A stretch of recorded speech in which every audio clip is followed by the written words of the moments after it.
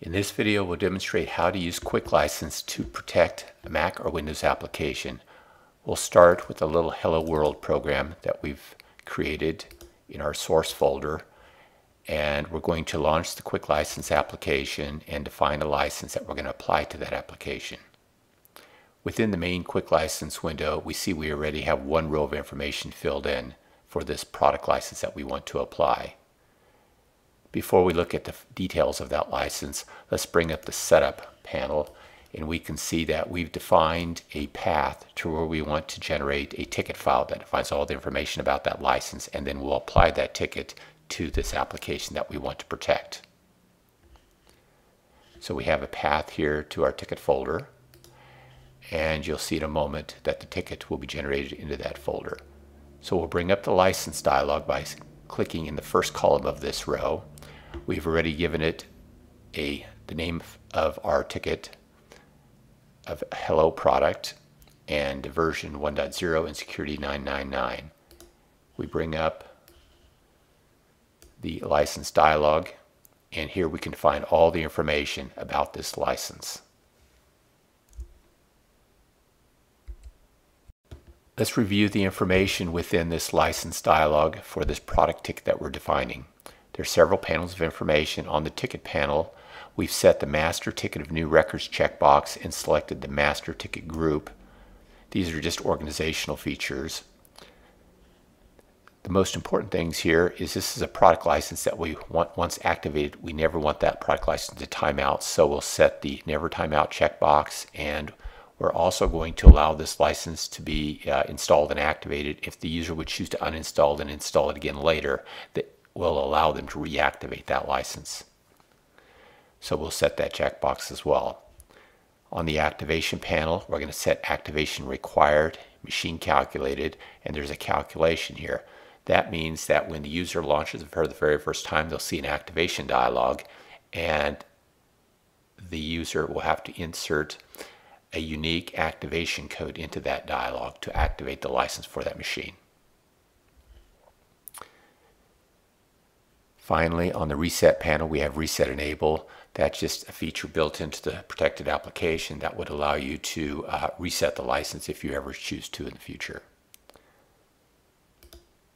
We can now make the ticket file by clicking the button and when we cl click OK and save and quit out of this uh, quick license window, if we look in our source folder, we now see that we've produced a ticket file that defines all the information about this product license that we want to apply to our application. There are two ways to apply a license to our application. We can either use the Add License Wrapping tool, or we can use the Quick License API by inserting a few lines of code into our application that calls the Quick License runtime file directly. We'll start with the uh, Add License Wrapping tool. When we open up Add License, we'll choose an unused record and give it a name.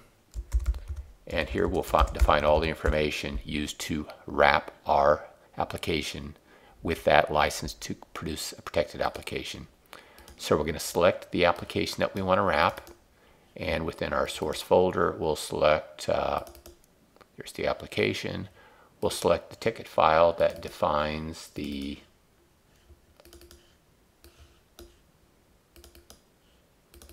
license that we want to apply and we can apply our own icon or by default it'll just use the icon already assigned to that application. And finally, let's generate the protected application into a specific output folder. So we'll select that folder now. That's pretty much all we need to do uh, to set up our uh, information to apply the license other than we have to enter the version number and the security code of that license that we defined within the uh, main window of Quick License. At this point, if we click Build Protected Application, takes a few seconds and we'll have generated a protected version of our application which we can see now we'll quit out of quick license and look at the output folder and here's a protected version of our application that's ready to ship to a customer.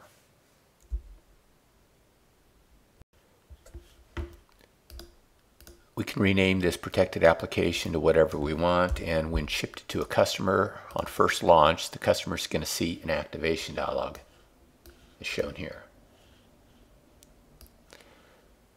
The customer will give you a request number in that dialog and you'll return back an activation code that will activate your software on their computer.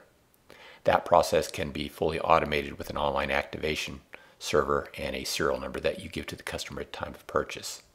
Let's take a look at the manual activation process now. If we launch Quick License, we can go to the license dialog that defined the license for that application. And within the dialog on the activation panel if we put that request number for that computer click the activation button. Here's the activation code that's needed for that specific machine so let's return to the activation dialog and put in that code. And now we see that the application has been activated and it's running. Each launch thereafter just immediately begins to run. The license is always validated, so it cannot be copied to another computer without requiring a new activation code. If you choose to use the API approach to protect your application, you'll need to read the uh, API chapter within the user guide, which defines all the various commands that can be sent to the Quick License runtime. There's an examples PDF file that has sample code for various programming languages. Once you've inserted the code to call the runtime file directly from within your application, you'll distribute a runtime file and the ticket file with your application to customers. There are various builds of the runtime file on a Mac. There's Quick License RT, which is a application that processes all the licensing uh, commands. There's also a static library for Xcode, so if you're developing with Xcode, you'll, you'll compile the runtime directly into your application. On Windows, there's a DLL and an EXE version of the runtime file and also runtime files for Android.